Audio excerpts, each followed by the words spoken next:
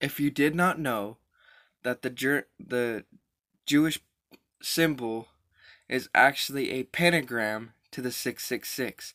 If you have not, look it up your history. Have a good day.